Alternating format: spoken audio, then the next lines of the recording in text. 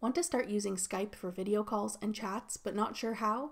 I'm Jessica and in this video I'll show you how to download and install the Skype mobile app.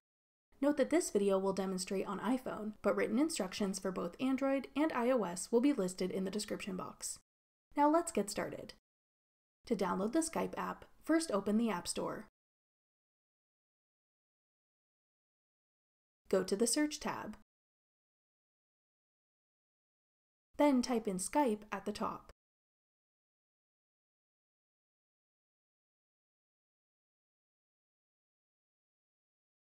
Tap Skype when it appears in the search results. Then tap Get. If prompted, use Touch ID, Face ID, or enter your password to confirm that you want to download the app. Wait for the installation to complete, then tap Open to start using Skype. That's all it takes to download Skype.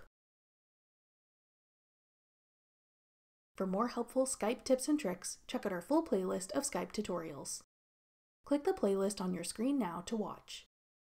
Thanks for watching.